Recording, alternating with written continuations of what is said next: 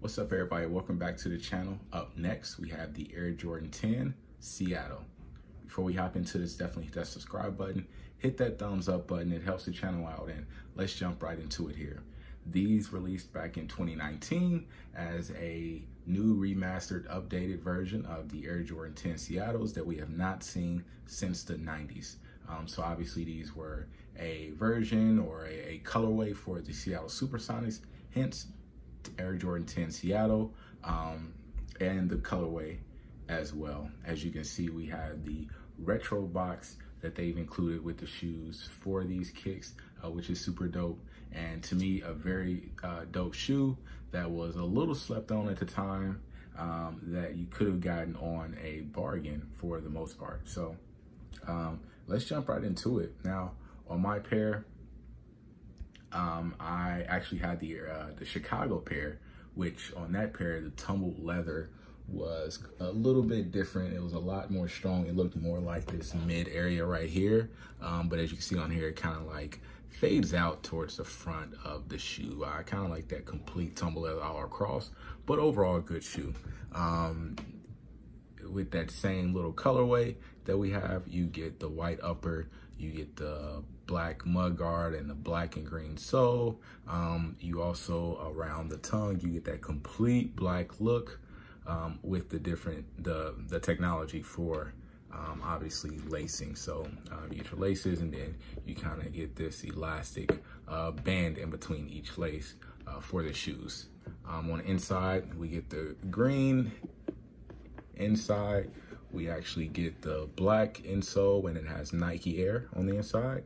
Um, we have the 11 right there for my size. So the size was imprinted on the inside. As we jump around to the back here, we get the black Jumpman. And as we look on the bottom here, we get the black and green with the yellowish gold Jumpman. Again, for the Seattle Supersonics uh, bring our sonics back. Anyways, uh, with the achievements lined along the green part on the sole or the green stripes, uh, you get some of his big, his one of his uh, biggest achievements from each year, all the way up until right before these were released. Um, so very, very dope. Um, now, as far as QC on these, uh, one thing that was inconsistent with my pair, um, as you can see the tongue here, um, I get a full, completely tumbled leather uh, tongue on this shoe over here, the right shoe, um, versus it's not as tumbled here on the left shoe. So not a huge deal, um, but I do like the tumbled leather a lot better. So I do wish that this pair had that tumbled leather um, a little bit better. Um, another thing with these shoes is obviously the um, the pull up in the back, um, which is used obviously to get the shoes on and um, a very simple silhouette and colorway. So um, not much over here. Um, if you're a fan of 10s, I'm pretty sure these are a pair that you either have, you wish you had, or you were going for. Um, if you're not a fan of 10s, of course, you, you probably don't like it much. But uh, with me, I do love 10s. I'm kind of in that minority group of loving 10s. Um, and I actually love these basic colorways.